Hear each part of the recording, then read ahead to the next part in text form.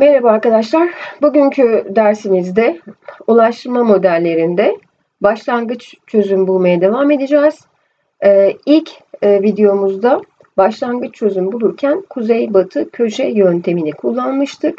Şimdi ise en düşük maliyetli hücreler yöntemini kullanacağız veya İngilizcesi least cost metot dediğimiz yöntem en düşük maliyet e, yöntemi diye de ifade edilebilir. En düşük maliyetli hücreler yönteminin adı aslında üstünde.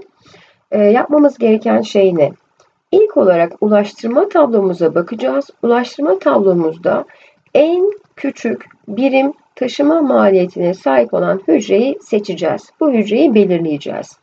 Bu hücreyi belirledikten sonra bu hücrenin bulunduğu satır ve sütundaki arz ve taleplerin en küçüğü kadar bu hücreye atama yapacağız ve daha sonra bir ve bu hücre etme yaptıktan sonra bir sonraki en düşük birim taşıma ücretine sahip olan, maliyetine sahip olan hücreye geçiş yapacağız. Sırasıyla bunu takip ederek bütün hücrelerimizi yani olası mümkün olan bütün hücrelerimizi dolduracağız. Eğer birden fazla birden fazla e, en düşük maliyetli hücre varsa o zaman biz keyfi bir tanesini seçip yani herhangi bir tanesini seçip onu atama yaptıktan sonra diğerlerine e, geçerek çözümümüze devam edeceğiz. Şimdi e, bizim daha önceden kuzeybatı köşe yönteminde e, çözmüş olduğumuz bir problem vardı. O probleme bakacağız. Hatırlarsanız eğer ben size şunu söylemiştim. Böyle bir ulaşma tablosu verildiğinde ilk olarak neye bakın demiştim. Toplam arz, toplam talebe eşit mi? Toplam arz, toplam arz, toplam talebe eşit mi? Buna bakmanız gerekmekte. Yani toplam arzımız 50 artı 30, toplam talebimiz 25 artı 45 artı 10. Bakalım bu eşitlik sağlanıyor mu? Evet sağlanıyor. Öyleyse bu bir dengeli problemdir. Yani arz veya talep e, faz, yani bir diğerinden daha fazla değil. İkisi de birbirine eşit. Öyleyse kukla arz merkezine veya kukla talep merkezine ihtiyacımız olmayacak. Mutlaka ilk yapacağınız işlem bunu kontrol etmek olsun. Şimdi bunu kontrol ettikten sonra yapacağımız işlem ne? En küçük olan maliyetli e, en küçük maliyetli olan hücreyi belirlemek. Birim maliyetlerimiz verilmiş bakın burada. Mesela e, C11 C11 dediğimiz nedir? S1'den S1'den D1'e bir birim taşıma maliyeti taşıma maliyeti ve bu maliyette kaç lira? 15 lira. Ee, mesela C2 2 nedir? S2'den D2'ye bir birim taşıma maliyetidir. Ve bu ne kadardır?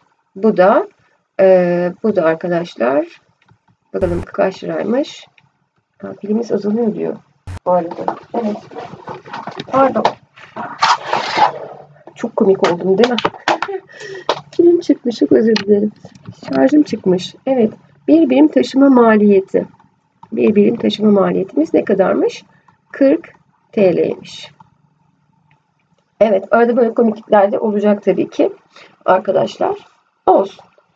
Şimdi ee, pekala bir de e, neyi tanımlamıştık hatırlarsanız eğer e, karar değişkenlerimiz x, y, j idi. Bu da i'inci e, üretim merkezinden veya arz merkezinden, birinci arz merkezinden, merkezinden, J'inci talep merkezine gönderilecek olan ürün miktarı. Bununla biz karar vereceğiz. Bu bizim karar değişkenimiz. Şimdi ben bütün bu maliyetlere bakıyorum. Bakın birim taşıma maliyetlerim ee, sağ üst köşelerde yazıyor 15, 30, 20, 30, 40, 35 şeklinde. Bunların arasında en küçük olan hangisi? 15. Öyleyse ben ne yapmak durumundayım? Ben bu hücreye ben bu hücreye atama yapmak durumundayım. Ne yapacağım? X11 diyeceğim. Bir numaralı üretim merkezinden bir numaralı tüketim merkezine ürün taşıyacağım. Öyleyse e, bunu nasıl belirleyeceğiz? Diyeceğiz ki S1'in yani üretim merkezimin arzı 50 birim, D1'in tüketim merkezimin e, talebi 25 birim. Bunların en küçüğü kaç? 25 olduğuna göre ben bu hücreye 25 birimlik atama yapacağım. 25 birimlik atama yaptığım zaman şimdi ne oldu? Ben bir numaralı tüketim merkezinin tüm talebini karşıladım ve e, S1 fabrikasının da arzı 50 birimdi. Neye e, düştü? 25 birime düştü. Çünkü 25 tane ürünü nereye yolladım? D1 denen tüketim merkezine yolladım. Şimdi ne yapacağım? Bir numaralı tüketim merkeziyle merkezinin tüm talebini karşıladığım için artık ben buraya başka bir ürün yollamayacağım. O yüzden burayı tamamen karalıyorum. Ee, benim e, için ne olmuş oluyor? Boş olan, geri kalan boş hücreleri e, görme fırsatı bana veriyor. Şimdi gelelim diğer, bakın 4 tane hücrem var. Bu 4 tane hücreden en düşük maliyetli olan hücreyi bulmak. 30, 20, 40 ve 35. Bunların arasında en düşük birim maliyet hangisinde? S1 ile D3'ün bulunduğu hücrede. Yani ben buraya atama yapmak zorundayım. 1 numaralı e, üretim merkezinden 3 numaralı tüketim merkezine ürün göndereceğim. 1 numaralı fabrikanın arzı 25 birim, 3 numaralı tüketim merkezinin talebi 10 birim, ikisinin en küçüğü ise kaça eşit? Tabii ki 10'a eşit olduğu için 3 numaralı tüketim merkezine 1 numaralı fabrikadan 10 birim atama yapıyorum. 10 birim atama yapıyorum. 10 birim atama yaptığım zaman 3 numaralı tüketim merkezinin tüm talebini karşılamış oluyorum ve 1 numaralı fabrikanın da 25 birimlik arzından 10 birimini kullandığım için geriye 15 birimlik bir arz kalıyor. Şimdi 3 numaralı tüketim merkezinin tüm talebini karşıladığım için artık benim burayla bir işim kalmadı. Ne yapacağım? Bir sonraki e, iki tane artık boş hücrem kaldı. Bu iki hücreye bakacağım. Bu iki hücre arasında 30 ve 40 birim taşıma ücretleri içerisinde en küçük olan kim? Ee, S1 ile D2'nin kesiştiği hücre. Bu hücreye atama yapmam gerekiyor. Yani X1, 2'ye atama yapmam lazım. Benim e, bir numaralı fabrikanın ne kadar arzı kaldı? 15 birimlik arzı kaldı. 2 numaralı talep merkezimin ne kadar talebi var? 45 birimlik talebi var. Bunların en küçüğü kaç? 15 birim. Öyleyse ben ne yapmak zorundayım? 1 numaralı fabrikadan 2 numaralı tüketim merkezine 15 birimlik bir ürün göndermek durumundayım. Böylelikle böylelikle artık ben S1 fabrikasının ürettiği tüm ürünleri ne yaptım? Göndermiş oldum. Geriye hiçbir ürün kalmadı. Öte yandan 2 numaralı fabrikanın e, şey tüketim merkezinin özür dilerim 2 numaralı tüketim merkezinin 45 birimlik talebinin sadece 15 birimi karşılandığı için burada bir 30 birimlik e, talep daha mevcut. Zaten e, şu anda ben S1'in de tüm arzını kullandığım için S1, S1'den artık atama yapamayacağım.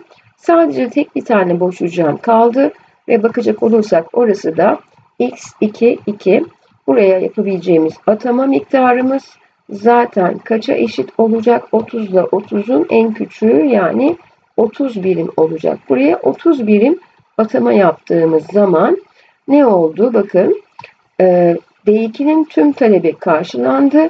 S2 fabrikasının tüm arzı tüketildi ve biz e, ne yapmış olduk?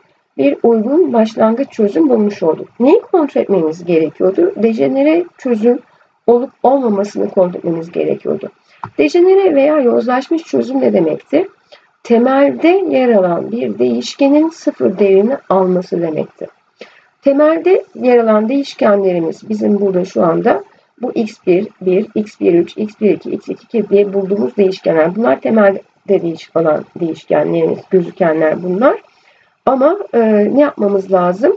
Toplam e, iki tane fabrikamız, e, üç tane tüketim merkezimiz var, beş tane kıstımız olacak. Bunun bir eksiğini alacağız. Beşten bir çıkarsa dört. Toplam dört tane neyimiz olmalı? Toplam dört tane temel değişkenimiz olmalı. Dört tane temel değişken yani dört tane hücrenin dolu olması lazım ki gerçekten de bakın 1, 1, 2, 3, 4. 4 tane hücre dolu 4 tane temel değişken buldum. Demek ki benim çözümüm e, yozlaşmış çözüm değil. Ben bu başlangıç çözüm yozlaşmış olmadığı kanaatine vardım. Eğer e, normal şartlar altında 4 tane değil de 3 e, tane temel değişken bulsaydım burada o zaman o zaman ne olmuş olacaktı? Temelde olması gereken değişkenlerden bir tanesi sıfır değerini alacaktı. Yani yozlaşmış çözüm söz konusu olacaktı diyeceğiz arkadaşlar. Şimdi e, sanırım oldukça kolay yani ben kolay olduğunu düşünüyorum bu yöntemin.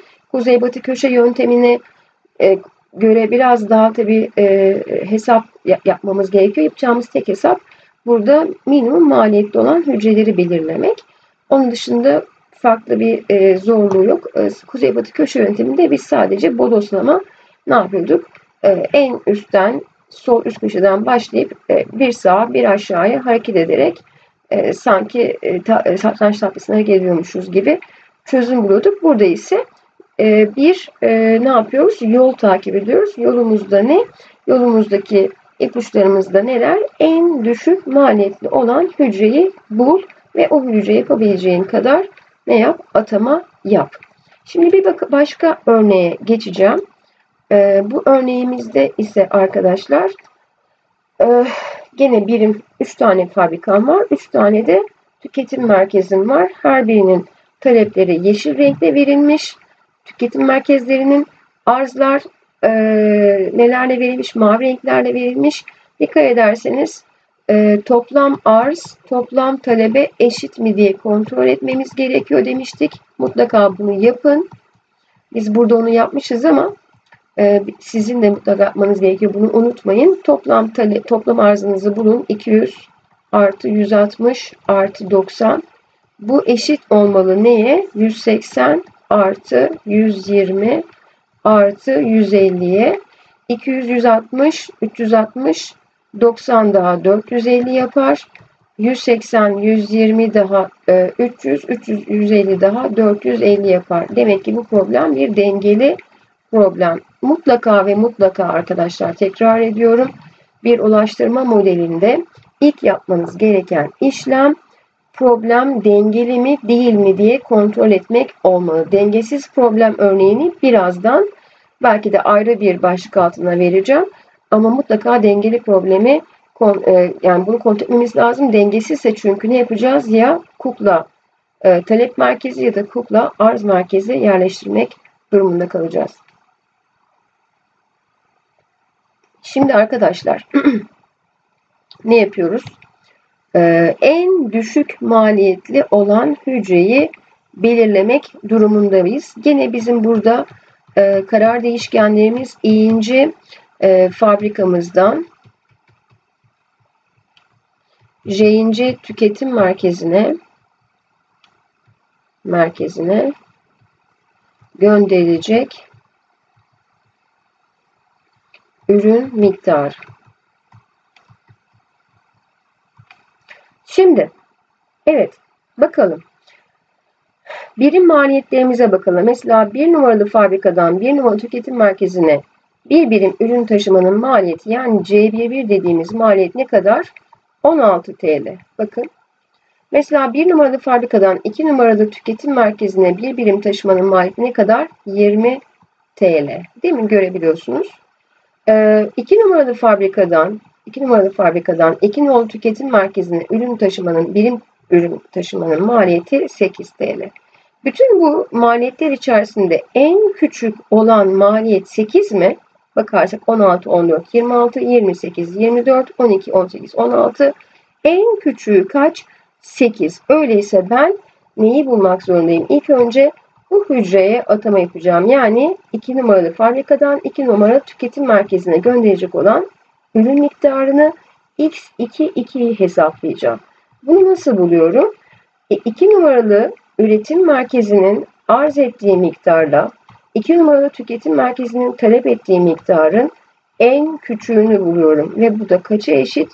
120'ye eşit. 120'ye eşit. Ne yapacağız? Biz buraya 120 birim atama yapacağız. Aslında farklı bir renk kullanmamız daha mantıklı olacak gibi değil mi? Bir yeşil var, bir mavi var. Ee, şuradan farklı bir renk seçelim. Kırmızı. Kırmızı her zaman iyidir. Kırmızı seçelim. Burası 120 birim olacak. Çok güzel. Ne yaptık? Buraya 2 numaralı fabrikadan 2 nolu tüketim merkezine 120 adet ürün gönderdik. Şimdi ben 2 numaralı tüketim merkezinin tüm talebini karşıladığıma göre artık burada da karşılanacak bir talep kalmadı. Öte yandan 2 numaralı fabrikanın hala daha 100, 160'tan 120 çıkarsa 40, 40 birim 40 birimlik bir arzı kaldı. Şimdi ne yapmamız gerekiyor? Şunu yapmamız gerekiyor. 2 numaralı tüketim merkezinin tüm talebini karşıladığım için bu sütunu tamamen kaplıyorum ki buradaki diğer boş hücreler dikkatimi dağıtmasın. Şimdi ne yapacağım? Şimdi bir sonraki en küçük e, maliyetli hücreye bakacağım. 16, 14, 26, 12, 18 ve 16 arasındaki en küçük maliyetli olan hücremiz hangisi? Tabii ki 1 numaralı fabrikadan 3 numaralı tüketim merkezine giden hücre. Buraya yapılacak olan atama x1-3'tür. Ve bunu da minimum 1 numaralı fabrikamızın yapabileceği atama 200 birim. 3 ee, numaralı tüketim merkezinin talebi 150 birim. Bunların en küçüğü 150 olduğu için ben e, e, x1-3 bir, birinci satırla üçüncü sütunun kesiştiği yere 150 birimlik atama yapabiliyorum. Böylelikle 3 numaralı tüketim merkezinin tüm talebini karşılamış oluyorum. Öte yandan F1 fabrikasının 200 birimlik arzı varken onun 150 e, birimini yolladığım için geriye sadece 50 birimlik bir arz kalmış oluyor. Devam edelim. Şimdi ne yapacağız? E, şimdi 3 numaralı tüketim merkezinin tüm talebini karşıladığım için bu e, sütunu kapatıyorum ve bu sütunu kapattıktan sonra ne yapıyorum? Diğer hücrelere geçiş yapıyorum. Bakın 3 tane boş hücrem var. Bunların içerisinde en düşük maliyete sahip olan hücre F2 ile T1'in kesiştiği yerdeki hücre yani 14 e, TL'lik birim maliyete sahip olan hücremiz. Ben buraya X2 1 dediğimiz e, miktarda bir ürün atayacağım. Bunu nasıl belirleyeceğim? Bunu da bir numaralı tüketim merkezi, şey bir pardon iki numaralı üretim merkezinin arz ettiği miktar 40'tı. Tüketim merkezinin talep ettiği miktar 180'di. 40 ile 180'in e, en küçüğü 40 birim olduğu için ben bu hücreye 40 birimlik bir atama yapacağım. 40 birimlik atama yaptığım zaman bir numaralı fabrikanın tüm arzını kullandım. 180 birimlik talebin sadece 40 birimini karşıladığım için 140 birimlik karşılanmayan bir talep kaldı. Yalnız ben artık F2 fabrikasından ne yapamayacağım? Herhangi bir şekilde ürün yollamam mümkün değil. Çünkü onun ürettiği tüm ürünü e, kullanmış oldum, göndermiş oldum. Şimdi sadece iki tane boş hücrem kaldı ve bu iki tane boş hücre içerisinde 16 ve 26 birimlik iki tane birim maliyet içerisinde e, en küçük olan neresi? F1 ile T1'in bulunduğu hücre yani X11 hücresine atama yapacağım. Neyi bulmak zorundayım? Bir numaralı fabrikanın toplam arzı 50 birimdi. Bir numaralı tüketim merkezinin toplam talebi 140 birim kalmıştı. Bu ikisinin en küçüğü 50 birim olduğu için buraya ne yapmış olacağım? 50 birim atama yapacağım. 50 birim atama yaptığım zaman bir numaralı fabrikanın tüm arzını tüketmiş oldum ve e, bir numaralı tüketim merkezinin ise 140 birimlik talebinden 50 birim karşılandığı için sadece 90 birimlik bir ne kalmış oldu arkadaşlar? 90 birimlik bir e, talep kalmış oldu. Zaten dikkat ederseniz tek bir hücrem kaldı boş olan.